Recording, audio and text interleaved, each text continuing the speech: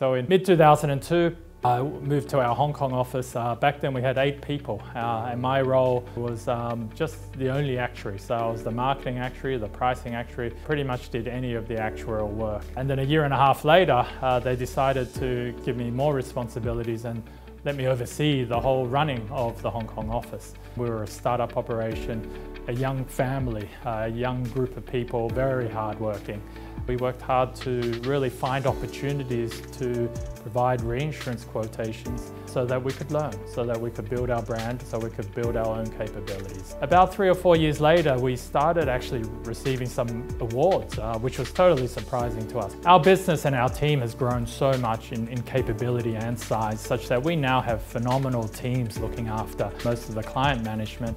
So my days really spent within our internal teams, handling certain issues that, are, that have arisen, doing town halls. Really, it's, it's all about speaking to our people, making sure we're doing the right things, making sure the culture of the company is right, making sure we exhibit strong discipline, making sure we're continually serving our clients uh, in the best way possible, and making sure we continue to come up with creative, innovative solutions, which very much has been the hallmark of RGA's success around the world, but particularly in Asia. What we can do as a reinsurer or in the insurance profession is create products and solutions that particularly can help try and narrow the protection gap. There's still tens of millions of people, particularly in the emerging markets around Asia, that are still underinsured. So if we can create innovative products or solutions that can reach these people in some manner and that can hopefully lower the pain and suffering in an unforeseen event for uh, some of these families, then that is incredibly fulfilling. I definitely think actuaries are suited to uh, high-end board position and senior leadership roles.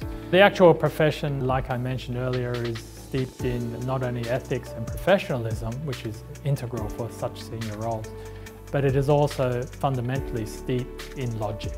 And oftentimes, innovation comes from the fact that if you're able to apply strong logic, the only solution that remains is the logical one, but it sometimes is a solution that is totally out of the box. And that's an integral part of all leadership, all senior roles. And you know, you don't just accept these as the solution. You absolutely have to test your data, test your assumptions to make sure that you're not missing something, to make sure that it, that is the logical solution.